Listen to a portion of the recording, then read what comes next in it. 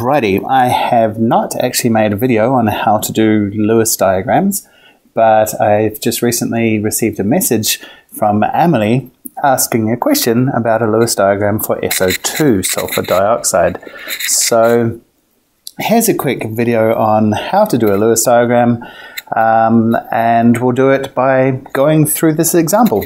So here's the Lewis diagram for sulfur dioxide.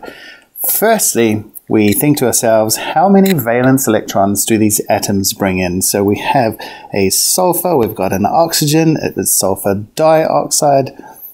So we have another oxygen there. Now, how many valence electrons do these guys bring in? Remember, it's only the valence electrons that actually take part in a chemical reaction, that actually do anything.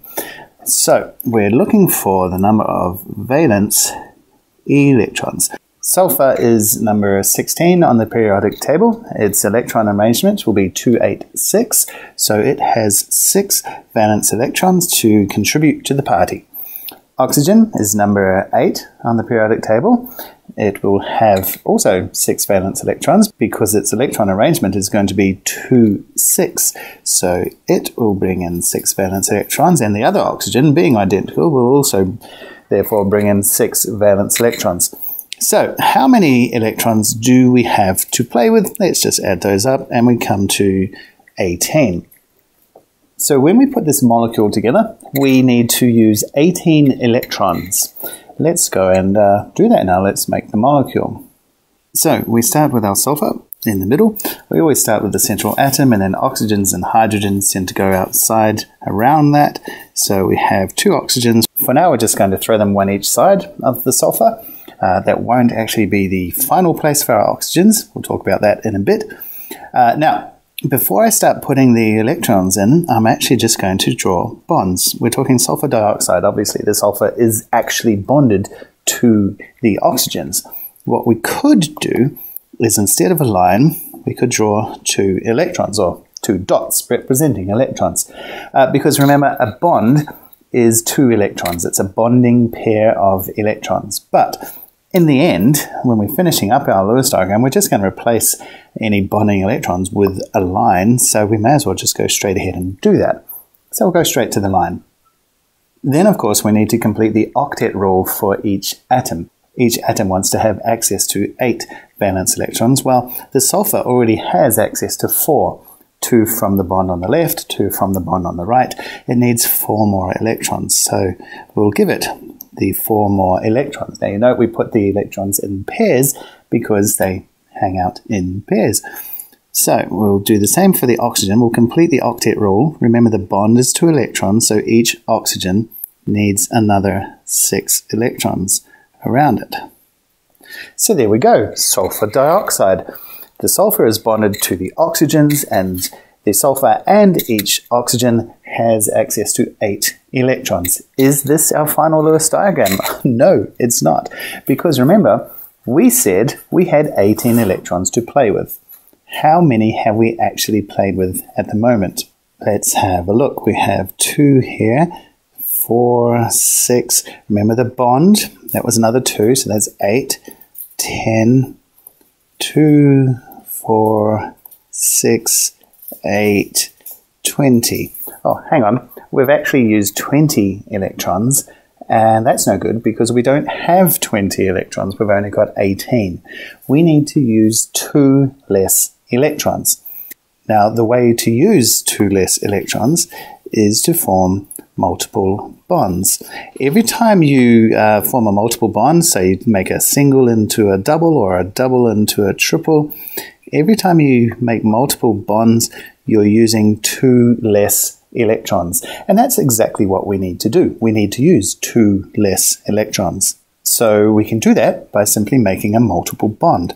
Let's put a double bond here on the left.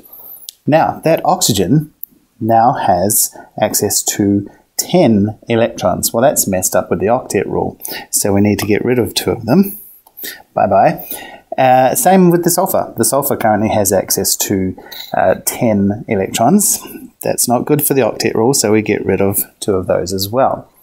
Now let's take a look at what we have. The oxygen on the left has access to 8 valence electrons. It has the 4, uh, the two lone pair of electrons, plus the 4 involved in the double bond. Remember, each bond is two electrons, but we have a double bond, so that's 4 electrons. Uh, so that's the octet rule, satisfied, yay. The sulfur, uh, 4 from the double bond, 2 from the single bond, and another 2 from the lone pair up above the S, so that's 8, octet rule, all good to go. And the oxygen on the right also has access to 8 valence electrons, 2 from the bond, and uh, three lone pairs of electrons around the oxygen. So the octet rule is happily satisfied for all atoms. This now works. So we can see that the Lewis diagram for sulfur dioxide is actually a double bond to one oxygen and a single bond to the other oxygen. So is this the uh, completed Lewis diagram? Yes, it is. That works. Yay. But we actually want to mention two other things. Uh, firstly, let's talk about the shape of the molecule. It will not be a linear molecule as I've drawn it like this.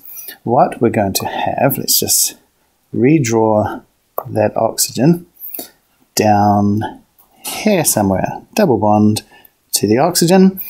Uh, now, this is because the lone pair of electrons uh, at the top of the S there's going to be electron electron repulsion between those electrons and the electrons of the uh, bonds, uh, both of the double bond and of the single bond. So that's going to push those bonds uh, around the circle a little bit.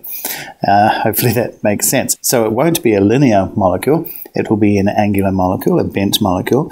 Um, also, these other electrons associated with that oxygen, I'm not going to draw them there because again, there's electron-electron repulsion between those lone pair electrons and the electrons of the double bond. So we'll just sort of spread them around the oxygen more on a bit of an angle. So this would be a better uh, Lewis diagram for sulfur dioxide. So that's one of the two things I wanted to talk about a bit extra, the shape of the molecule. We can see now that, oh, look, it's a bent molecule. Grand. Um, the other thing is, well, what's so important about the oxygen on the left? Why does it get the double bond and not the oxygen on the right? What's so funky about the guy on the left? Uh, actually, nothing. The double bond could well have been on the right. In fact, let's put it there. Make that a double bond, which means we need to get rid of two electrons from there.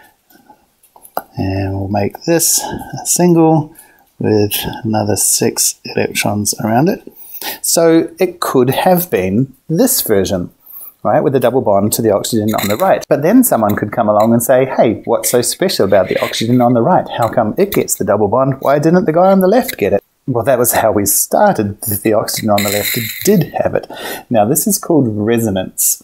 All right, so what we would actually do is show all possible forms. This is one form of the Lewis diagram, and what we had earlier was another form. What we would do is show all possible forms. So let's do that. We have an S double bond to an O, single to another O.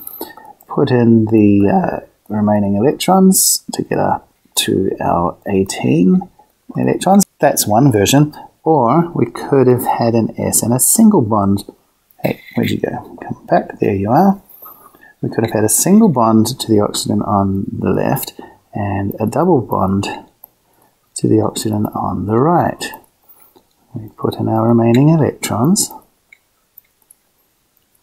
And then we put a double-headed arrow between them. Now, I've drawn mine uh, top and bottom. You could draw it left and right and just draw the arrows sideways between them. It really doesn't matter. But we show all possible resonance forms of the molecule. Okay, so the double bond could have been on the left or it could have been on the right. We draw both double-headed arrow between them. So there you go. That is your Lewis diagram for sulfur dioxide. Now, actually, maybe I'll just show one more thing super quick. Sometimes resonance forms are shown in one diagram. So we had our sulfur and oxygen, another oxygen. Come back, silly computer. There we go. Let's have a single bond, a single bond, and sometimes it's sort of this happens. A dashed line like that. Uh, and that just means that uh, that dashed line represents the double bond that could be to the oxygen on the left or it could be to the oxygen on the right. I myself much prefer showing both forms like this, um, both resonance forms with the arrow between them. So there you go, the Lewis diagram for sulfur dioxide. Well, that's the video done. If you liked it, brilliant. Hit the like button and leave me a comment too. Now you know what to do. Go hit that subscribe button. We'll see you next time.